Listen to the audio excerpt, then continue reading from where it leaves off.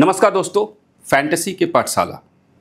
ये जो कार्यक्रम है, मैं शुरू कर रहा हूँ। कार्यक्रम कहो, चाहे आप जो कहो, एक सीरीज़ है पार्ट है, ताकि आप सभी लोग खुद से टीम बनाने की कॉन्सेप्ट को समझ सको। इस वीडियो को आखिर तक आप लोग ज़रूर देखना, क्योंकि इसके अंदर मैं हर एक पॉसिबिलिटीज़ पर फोकस कर रहा हूँ। ये बैटिंग पिच है। तो बैटिंग पिच पर किस तरीके से स्कोरिंग पैटर्न बनते हैं, पहले मैं आपको ये बताऊँगा। फिर दूसरी वीडियो आएगी जिसके अंदर ये बताऊँगा कि बैटिंग पिच पर स्कोरिंग पैटर्न तो मैंने बता दिया, लेकिन किस तरह के बैट्समैन जो हैं वो ज़्यादा अच्छे खेलते हैं, इसके ऊपर फोकस करूँगा। फिर तीसरी वीडियो आएगी जिसमें आपको मैं ये बताऊँगा कि बैटिंग पिच के ऊपर किस तरह के जो बॉलर्स होते हैं, वो सबसे ज़्यादा जो है हमें फैंटेसी के पॉइंट्स देंगे। यानी कि जो कुछ भी बताऊँगा, वो फैंटेसी के पॉइंट के सिस्टम के आधार पर बताऊँगा। तो एक एक बात, जहाँ भी मैं गलत रहूँगा, आप लोग मुझे कमेंट ज़रूर बोलना कि इस पॉइंट पे गलत है कन्फ्यूज़न है, ये सही नहीं है, ये नहीं चलता। लेकिन जो भी मेरा एक्सपीरियंस है, जो अभी तक मैसेज में देखता हूँ, जिस भी तरीके से चीज़ें होती हैं, मैं यहाँ पर वो सब कुछ जो है आपको देने की कोशिश कर रहा हूँ। तो आइए देखते हैं कि बैटिंग पिच के ऊपर किस तरीके से सारे सिस्टम जो है वो बनते हैं स्कोरिंग पैटर्न किस तरीके से बनता है। अगर आप ये समझ लिए तो आप ये समझ लो कि कम से कम 50 परसेंट आप ये पता कर लोगे कि आपको टीम की कॉम्बिनेशन क्या रखनी है टीम का पैटर्न क्या रखना है टीम किस फॉर्मेट से आपको बनाना है? आइए चलते हैं सीधा स्क्रीन पर। देखिए बैटिंग पिच फैंटेसी क्रिकेट ठीक है? बैटिंग पिच जनरली जो होता है आ, मतलब हम पिच देखकर पता कर सकते हैं हालाँकि बैटिंग पिच भी किस तरीके से होते हैं इसके ऊपर भी ऑलरेडी एक वीडियो बहुत पहले मैं बना चुका हूँ। लेकिन देखिए बैटिंग पिच के ऊपर किस तरीके से सिनारियो बदलने वाले हैं आपको सबसे पहले स्कोरिंग पैटर्न बताऊँगा क्योंकि जब बैटिंग फ्रेंडली बताया जाता है तो वहाँ पर क्या हो सकता है? क्या क्या हो सकता है किस किस कंडीशन में जो है स्कोरिंग पैटर्न चलते हैं। सबसे पहले हम फोकस करेंगे। देखिए, एक हाई स्कोरिंग पावर प्ले होता है। सबसे पहला जो पॉइंट होगा, वो ये होगा कि हाई स्कोरिंग जो है पावर प्ले होता है, यानी कि runs in the power play यानी ज़ीरो से छः ओवर के बीच में। मैंने हिंदी में हर एक चीज़ लिखा है ताकि आपको, आप स्क्रीनशॉट भी ले सको और आप इस चीज़ को अच्छे तरीके से समझ भी सको। बैटिंग पिचेस पर पावर प्ले के दौरान काफ़ी फास्ट स्कोरिंग होती है। टीम्स अक्सर 50 से 70 रन या उससे ज़्यादा पावर प्ले में बना लेती है। एग्ज़ाम्पल 60 से मतलब 60 रन बना दिया छः ओवर के अंदर, कोई विकेट नहीं गिरा। या फिर ये हो सकता है कि पैंसठ रन बने और एक विकेट गिरा छः ओवर में। इस तरीके से कंडीशंस जो है वो देखे जाते हैं, यानी कि बहुत ही फास्ट तरीके से यहाँ पर गेम होता है। हो सकता है कि वहाँ पर कोई विकेट ना गिरे, या हो सकता है कि एक विकेट गिर जाए। ये एक कंडीशन होगा। अब इस केस में आपको क्या लगता है? इस केस में आपको एक चीज़ तो समझ में आ गई कि 60 रन बनता है पावर प्ले में और पैंसठ रन बनता है तो कम से कम दोनों ओपनर जो हैं, जो दोनों ओपनर बैट्समैन हैं, वो आपके ड्रीम टीम में आ सकते हैं। ये बात तो आप समझ गए होंगे। देखिए, हमें फोकस कहाँ करना है? सबसे पहले हमें फोकस करना चाहिए, जब भी हम क्रिकेट में टीम तैयार करते हैं तो हमारा सबसे पहला फोकस यही होना चाहिए कि हमारे जो ग्यारह प्लेयर चुन के निकालते हैं, कम से कम पहले वो ड्रीम टीम में आ जाए। मैंने देखा है 99 परसेंट लोग कैप्टेंसी के पीछे भागते हैं कि कैप्टन कौन होगा। उन लोगों को मैं यही कहना चाहता हूँ कि कैप्टन भले ही आपका सबसे ज़्यादा पॉइंट्स दे दे, लेकिन उसके बावजूद भी आप करोड़ रुपए नहीं जीत पाएँगे जब तक कि आपके ड्रीम टीम में कम से कम 10 प्लेयर डीटी ना बने हों। कल के मैच में एक भाई ने, नाम मुझे नहीं आ रहा है चौधरी करके कोई है, उन्होंने मुझे इंस्टाग्राम पर एक अपनी पोस्ट भेजी, हालाँकि कॉल भी कर रहे थे तो उन्होंने मुझे भेजा अपनी फ़ोटोज़ जिसमें 11 के 11 प्लेयर डीटी थे। समझिएगा बात को, इन्होंने कैमरन ग्रीन को कैप्टन बनाया, वो भी ओके है। लेकिन थोड़ी सी मिस्टेक हुई और वो क्या था कि मिचेल मार्स को उन्होंने वीसी बनाया था जो कि सबसे कम पॉइंट दिया था। तो समझ रहे मेरे कहने का मतलब कि कहीं ना कहीं 11 प्लेयर डीटी थे तो वो अच्छे खासे अमाउंट जीते। तो सबसे पहला फोकस होना चाहिए कि आपके 11 प्लेयर जो हैं वो डीटी बनकर बाहर निकले। तो इसके लिए आपको शुरू से इन सिस्टम्स को समझना पड़ेगा कि अगर 60 रन बनता है या एक विकेट गिर जाता है पावर प्ले में, ठीक है तो कम से कम दोनों ओपनर में से एक ओपनर तो ऐसा ज़रूर होगा जो डीटी बनकर जाए। हो सकता है ऐसा कि 34 रन पर एक विकेट गिर जाए, एक जो बैट्समैन है, वो 20 रन खेले और एक 14 रन पर आउट हो जाए। तो ये ड्रीम टीम से बाहर हो गया, लेकिन जो दूसरा है, वो भी तबड़तोड़ खेले तो फिर दोनों के दोनों डीटी बने। समझ गए? तो ये एक कंडीशन जो है पावर प्ले में होता है कि रन्स जो है वो फास्ट बनते हैं, या तो साठ रन या सत्तर रन अस्सी रन भी हो जाते हैं, सौ रन भी हो सकते हैं। कुछ नहीं कह सकते। स्कोरिंग जब हाई होता है बैटिंग पिच पर तो हाई होता है।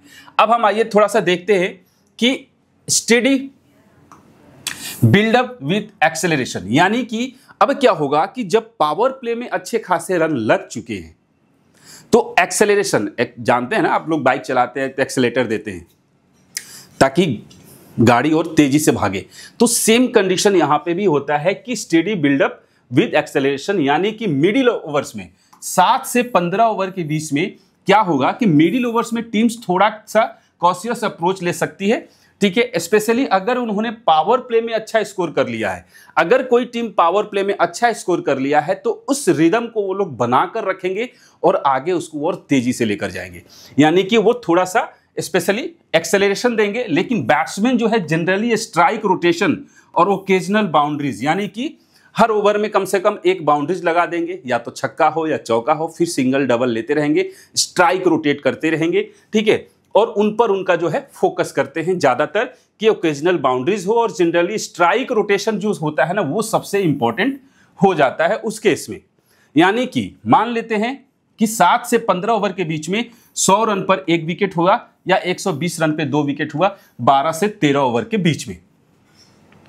अब क्या होगा? एक्सेलरेशन फ़ेज़ फिर से वापस आएगा। उसमें होगा 14 से 15 ओवर के बीच में ठीक है 14 से 15 ओवर के बाद बैटिंग टीम टिपिकली एक्सेलरेट करने की कोशिश करेगी, जो स्कोर में शार्प इंक्रीज लीड करेगा।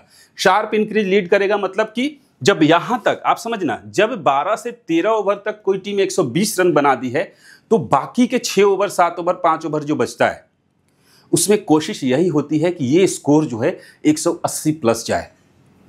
तो ये एक कंडीशन होता है कि हमारा जो टीम है, वो उसमें किस तरीके से प्लेयर्स को चुनने हैं। अगर हम ये मानते हैं कि 100 रन तक एक विकेट गिरता है, यानी कि ये डेफिनेटली तय है कि दोनों ओपनर में से कोई एक ओपनर या फिर टॉप थ्री बैट्समैन में से कोई दो बैट्समैन जो है, वो आपको 100 परसेंट अच्छा खेल कर जाएँगे। ड्रीम टीम में जाएँगे। इसकी पॉसिबिलिटी सबसे ज़्यादा होती है। तो आपको उसी तरीके से टीम की फॉर्मेशन तैयार करनी है। देखिए, अभी आपको अगर कुछ समझ में नहीं आएगा तो टेंशन नहीं लेना। आगे आप जैसे जैसे आगे देखते जाओगे तो आपको पीछे वाली चीज़ें भी माइंड में क्लिक करती जाएँगी और आप समझते चले जाओगे कि क्या होगा, ठीक है? तो हम यहाँ तक समझ गए। अब आइए थोड़ा सा आगे बढ़ते हैं। अब क्या हो सकता है कि डेथ ओवर्स में एक्सप्लोजन होगा, ठीक है? मैंने आपको पावर प्ले से लेके 20 ओवर तक की चीज़ें बता दिया, यानी कि 15-16 ओवर तक। अब क्या होगा, ठीक है, कि 16 से लेके 20 ओवर के बीच में डेथ ओवर एक्सप्लोजन एक्सप्लोजन मतलब होता है धमाका। सिंपल सा, धमाका, यानी कि डेथ ओवर्स में बैट्समैन का इंटेंशन मैक्सिमम रन्स बनाना होता है और यह फ़ेज़ सबसे एग्रेसिव स्कोरिंग फ़ेज़ होता है। यानी कि एग्ज़ाम्पल के तौर पे रन्स पर ओवर 12 से 15 रन पर ओवर या फिर उससे ज़्यादा स्कोर हो सकता है। यानी कि लास्ट के चार ओवर में आप देखे होंगे एग्ज़ाम्पल के तौर पे कि एक टीम जो है लास्ट के चार ओवर में 50 से 60 रन बना दिया। ठीक है resulting the final score is 180 to 200 यानी कि आप बात में समझ में आ गई कि जब हाई स्कोरिंग पिचेज होता है तो 200 जो रन रन बनते हैं, वो किस किस कंडीशन में बनते हैं, मैं इसके ऊपर फोकस कर रहा हूँ। ठीक है? कि रन किस किस कंडीशन में बन सकते हैं? अब इस कंडीशन में आपको इतना समझ में आ गया होगा कि आपको बैट्समैन किस तरीके से चुनने हैं। ठीक है? यानी कि 50 से 60 रन यानी डेथ में बना, यानी कि एक बात तो तय है, या तो पावर प्ले वाला बैट्समैन ओपनिंग बैट्समैन ही अच्छा खेल कर गया या थ्री और फोर नंबर का जो बैट्समैन है, वो बहुत तगड़ा खेल कर जाएगा। तब जाकर ये सिनारियो जो है, वो कंप्लीट होता है। ठीक है? अब चलिए हम लोग बात करते हैं आगे। फिर देखते हैं कि सेंचुरी पार्टनरशिप और अ बिग इंडिविजुअल स्कोर मतलब कि ऐसा भी होता है, कई बार ऐसा देखने को मिला है, बहुत कम टाइम ऐसा होता है, लेकिन फिर भी होता है कि दोनों पावर प्ले के जो बैट्समैन हैं, वो डेढ़ सौ रन तक खेलते चले गए। या फिर ये भी हो सकता है, मैं आपको पढ़कर दिखाता हूँ, मैंने हर चीज़ लिखा हुआ है कि बैटिंग फ्रेंडली पिचेस पर एक या दो बैट्समैन बड़े स्कोर्स बना सकते हैं, जिसमें एक सेंचुरी या सत्तर अस्सी से ज़्यादा स्कोर हो सकता है किसी एक बैट्समैन का। होता है ना ऐसा, बैटिंग विकेट पर दोनों बैट्समैन आए खेलने, एक हो सकता है पंद्रह बीस रन पर आउट हो जाए और दूसरा खेलते हुए अस्सी रन, सौ रन भी बनाकर चला जाए। ऐसा होता है तो ऐसा कब होता है? ये बैटिंग पिच के ऊपर होता है। आई बात समझ में? जब आपको इतना पता चल जाए कि जो पिच है, वो बैटिंग है तो आपको वहाँ से अपने इमेजिनेशन से, अपने इस तरीके से जो मैंने बताया है तो आपको टीम जो है वो रेडी करना है। एग्ज़ाम्पल के तौर पे समझते हैं एन ओपनिंग पार्टनरशिप 120 प्लस यानी कि 120 से ज़्यादा जो रन है, वो पार्टनरशिप में बन गया है, और a single batsman scoring 100 plus in 60 balls यानी कि कोई एक जैसे ट्रावी सेट जैसा बैट्समैन हो गया। कई बार ऐसा भी देखने को मिला है कि यशस्वी जायसवाल और अगर रोहित शर्मा आगे बैटिंग करने तो पता चलता है कि छः ओवर में सत्तर अस्सी रन बन गए। वहाँ पर कोई एक आउट हुआ तो दूसरा जो है उसको एक्सेलेट करके आगे बढ़ता है और फिर वो पचास साठ बॉल में सौ रन भी क्रॉस कर जाता है। जनरली ये सारी चीज़ें जो हमें आईपीएल में भी देखने को मिलता है। तो ये जो कंडीशन है, एक होता है, ठीक है? जब बैटिंग विकेट पर मैच होता है। अब समझते हैं कि क्या है? अब देखिए एग्रेसिव स्टार्ट अब नेक्स्ट पैटर्न को समझते हैं।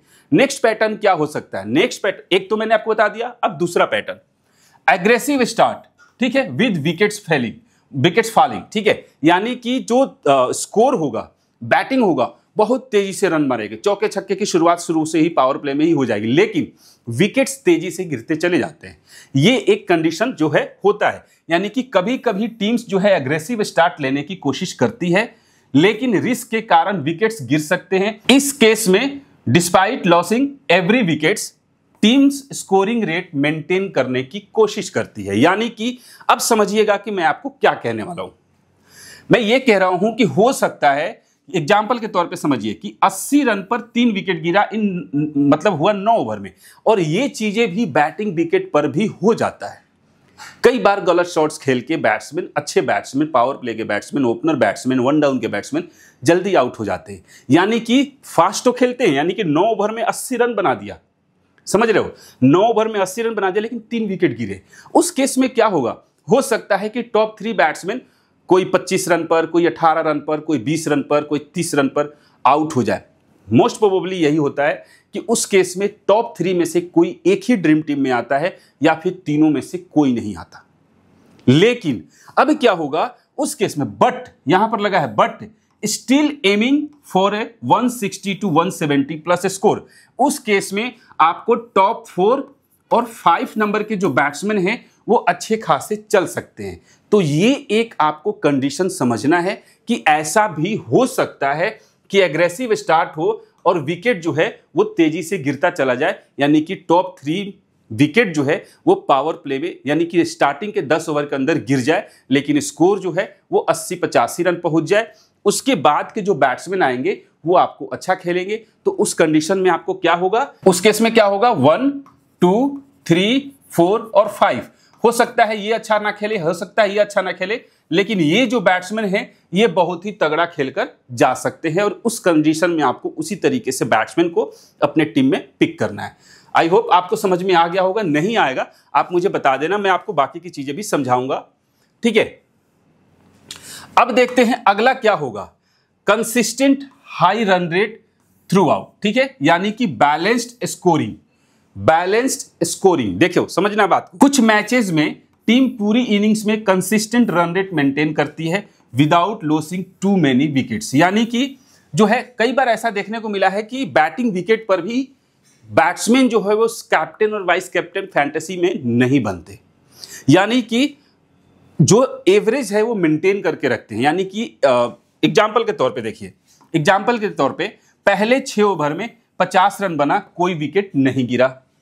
फिर अगले बारह ओवर तक सौ रन बने और दो विकेट गिरे। फिर 180 रन बना, चार विकेट गिरे और 20 ओवर कंप्लीट हो गया। इस तरीके से एग्ज़ाम्पल पे अब आपको यहाँ से ये चीज़ क्लियर हो गया होगा कि आपको किस किस कंडीशन में बैट्समैन को रखना होगा। ठीक है? आप समझ गए? फिर से बता रहा हूँ कि मान लीजिए पहले छह ओवर में दोनों ओपनर आए और 50 रन बनाकर गए, विकेट नहीं गिरा।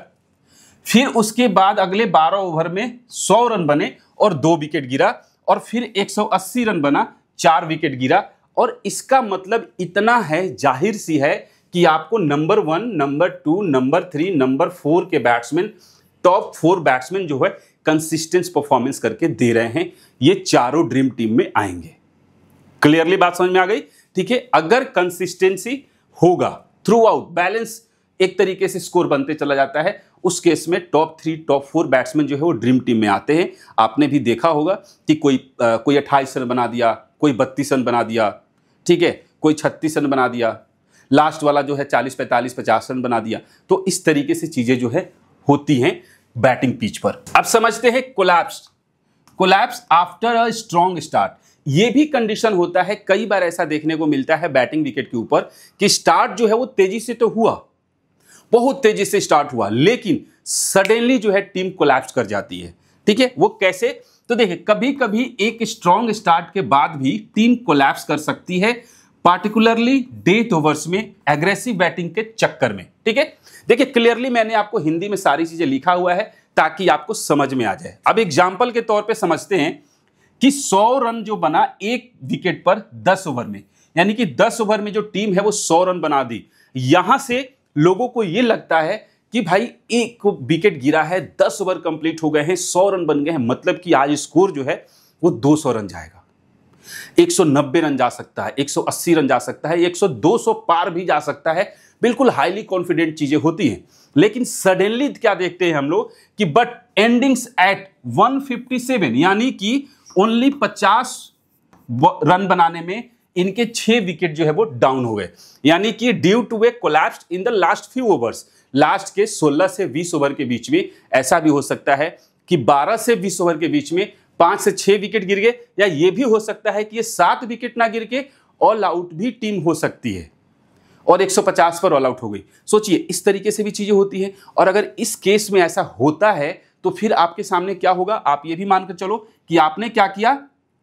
कि नंबर वन, नंबर टू और नंबर थ्री, इनमें से किसी दो को, या तो नंबर वन, नंबर टू को ले लिया आप तीनों को ले लो। सिर्फ़ इन तीन बैट्समैन को लो और किसी भी बैट्समैन को ना लो, क्योंकि बाकी दस रन, पंद्रह रन, बीस रन या आठ run, zero ball, zero run उन पे आउट होते चले जाते हैं।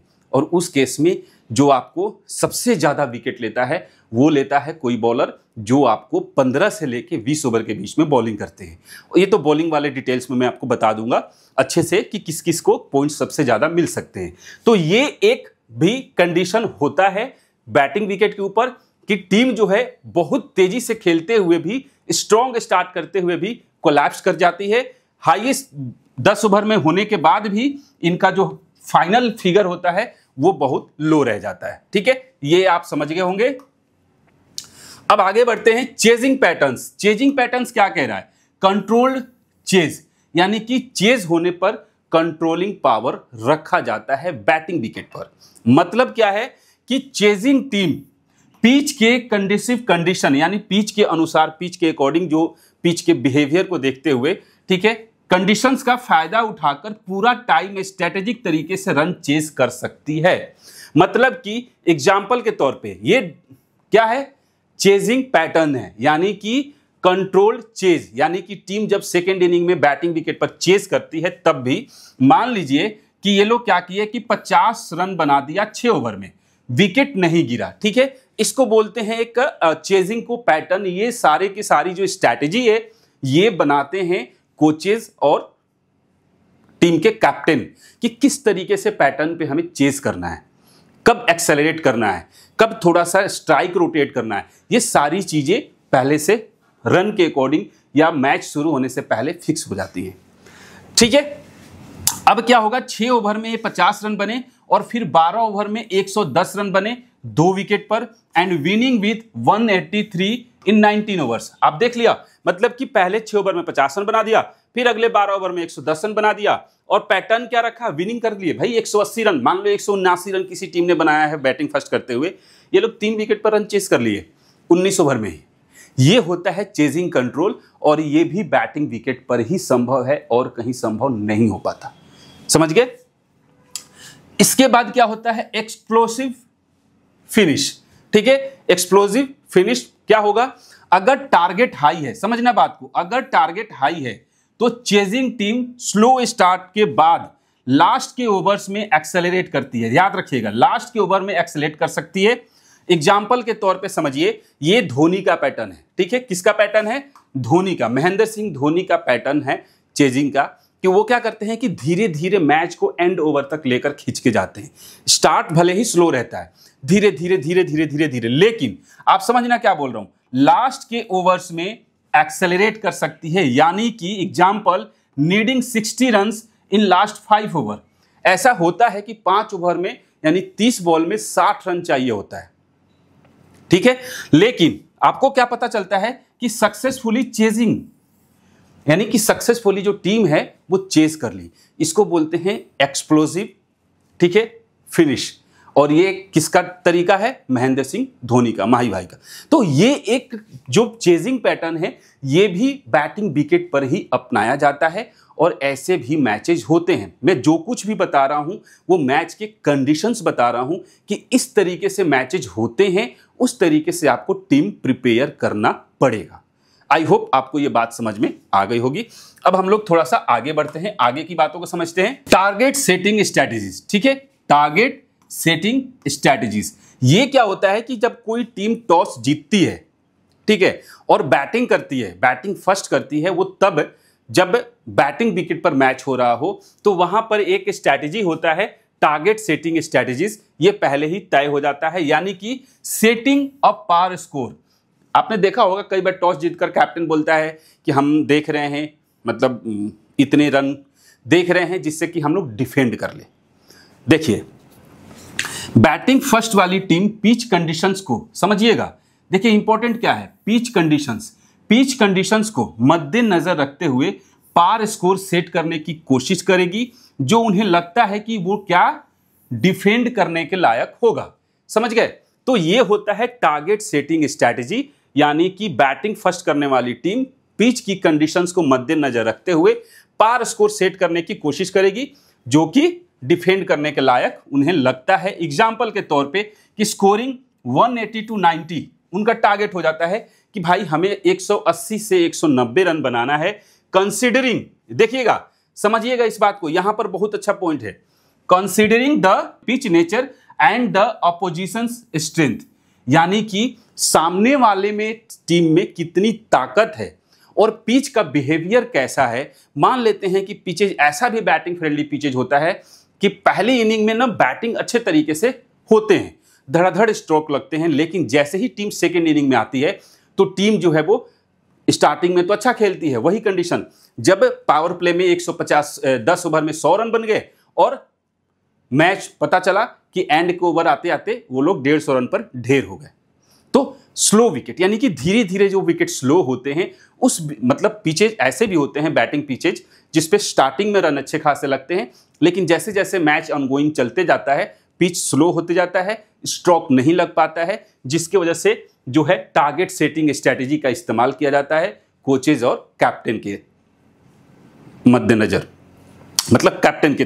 ठीक है तो अब हमारे पास ये चीज़ें आप समझ गए होंगे कि स्कोरिंग 180 से 90 का considering the pitches nature and the position strength उनको पता होता है। कि सामने वाली टीम में कितनी ताकत है, उनके अगर हम ओपनर्स को उखाड़ फेंकते हैं पहले ही तो फिर उनकी टीम कोलैप्स हो जाएगी। या फिर वो ये सोचते हैं कि देखो, पावर प्ले में हम किसी भी तरीके से खींचे, मिडिल ऑर्डर में इनको दबा कर रखेंगे, क्योंकि इनके पावर प्ले के जो बैट्समैन हैं स्ट्रांग है, मिडिल ऑर्डर कमज़ोर कड़ी उनको दिखाई देती है। उस केस में भी ये जो है सिस्टम अप्लाई किया जाता है। ठीक है? अब इसका कंक्लूजन क्या है?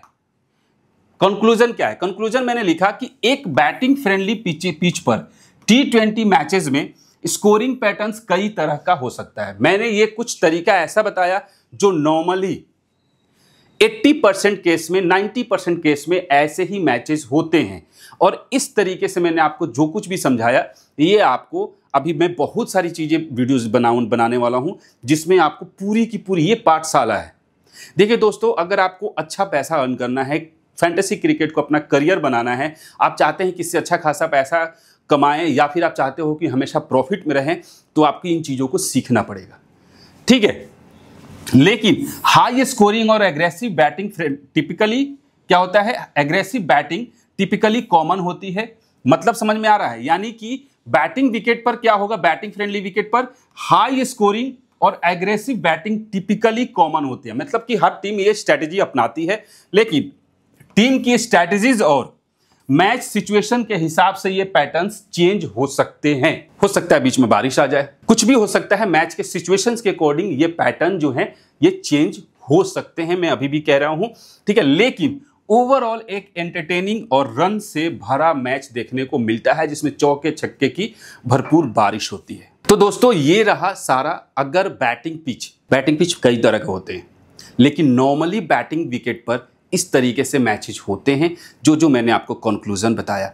अब हम यहाँ पर अगले वीडियो में ये बताने की कोशिश करेंगे कि बैटिंग विकेट पर, जब विकेट बैटिंग हो बैटिंग पिच हो तो वहाँ पे किस टाइप के बैट्समैन जो है, कब कब कंडीशन में अच्छे खेलते हैं? वो कौन कौन से, किस टाइप के जो बैट्समैन हैं, वो वहाँ पर सर्वाधिक आपको अच्छे पॉइंट्स देंगे या कैप्टन बनने के लायक होते हैं या कुछ ऐसे बैट्समैन भी होंगे जो आपको ड्रीम टीम में आने के लायक होते हैं। बैटिंग विकेट पर बहुत सारे बैट्समैन ऐसे होते हैं जो बिग हिटर्स होते हैं। ठीक है, कुछ बैट्समैन ऐसे होते हैं जो बिल्कुल स्ट्राइक रोटेट करने वाले बैट्समैन होते हैं, जैसे विराट कोहली जैसे बैट्समैन ठीक है, कुछ होते हैं जो पावर प्ले का भरपूर फ़ायदा उठाते हैं, जैसे श्री जसवाल हो गया, जैसन रॉय हो गया ट्राविस हेड हो गया रोहित शर्मा हो गए। तो इस तरीके के जो प्लेयर हैं, ये बैटिंग विकेट पर किस तरीके से खेलते हैं, सारी की सारा मैं आपको पूरा का पूरा किताब लेकर आने वाला हूँ। इसीलिए इसका नाम मैंने रखा क्रिकेट फैंटेसी क्रिकेट का पाठशाला।